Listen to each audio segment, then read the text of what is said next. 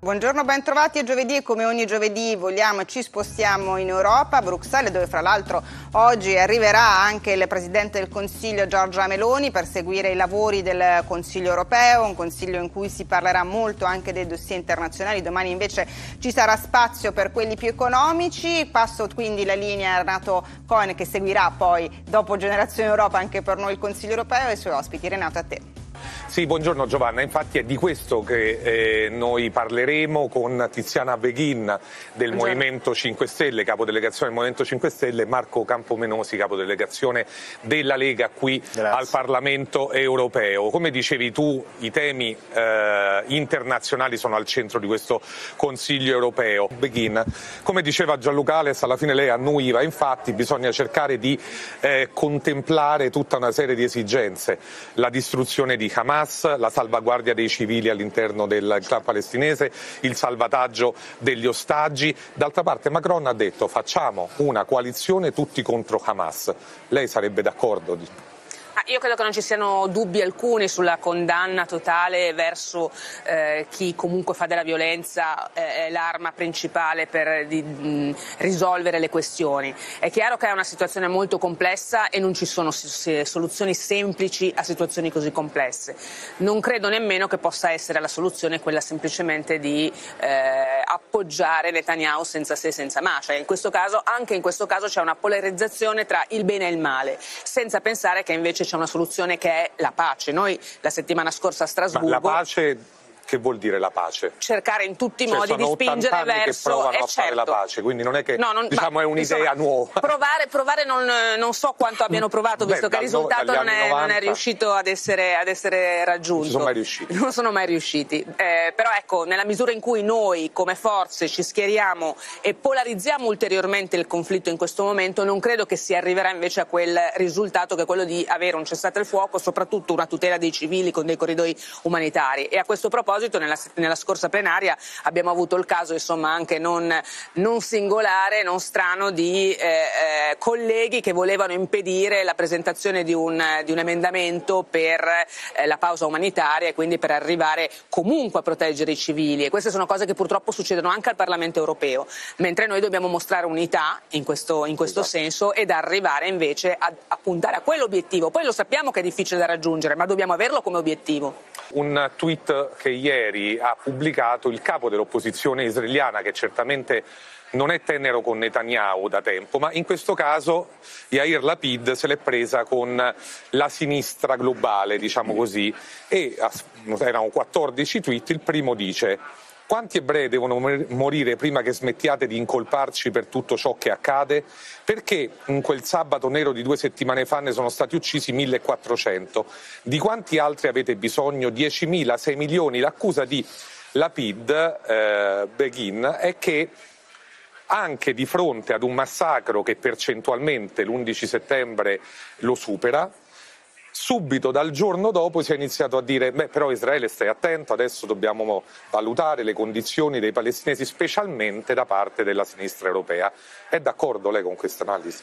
Ma io credo, come dicevo prima, che anche in questo caso si tenda sempre a fare confusione tra i buoni e i cattivi. Eh, personalmente quello che posso dire è che non si può che condannare l'attacco che è stato compiuto il 7 di ottobre nei confronti dei eh, civili eh, di, di, Israele, ma allo stesso modo dobbiamo stare eh, molto attenti a come ci poniamo rispetto a quelle che possono essere poi le ehm, contromisure che Israele prenderà nei confronti dei palestinesi, perché dobbiamo ricordarci, nella striscia di Gaza non c'è solo Hamas, ci sono i cittadini palestinesi, cioè oltre il 75% degli abitanti della striscia di Gaza sono persone sotto i 25 anni, quindi mh, mm, nessuno vuole ulteriore violenza, nessuno vuole ulteriori morti, ma non li vogliamo né da una parte né dall'altra.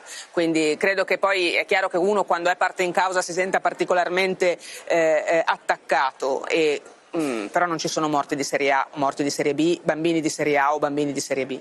Vediamo, commentiamo le parole di Erdogan a cui faceva riferimento prima anche Gianluca Ales. Senza ascoltarlo abbiamo eh, preparato con Francesco Di Blasi una grafica che eh, diciamo, dice la, la, frase principale. Allora Erdogan dice Hamas non è un'organizzazione terroristica ma un gruppo di liberazione, un gruppo di mujahideen che combatte per proteggere il proprio territorio e i propri cittadini. L'Europa è molto divisa e debole anche perché essendo democratica ovviamente dà spazio a molte posizioni ah. e a volte si aggrappa posizioni specifiche a secondo della propria idea politica che sono abbastanza strumentali. Erdogan che proclama eh, appunto i diritti dei palestinesi conculcando quelli dei curdi. Putin che quasi ironicamente dice a Israele salvaguardate le vittime civili.